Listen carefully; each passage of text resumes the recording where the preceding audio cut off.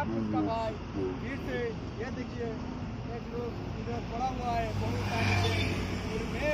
आ गया हूँ। उसको हेल्प करने के लिए, भाई, मेरे से जितना हो सके मैं तो हमेशा हेल्प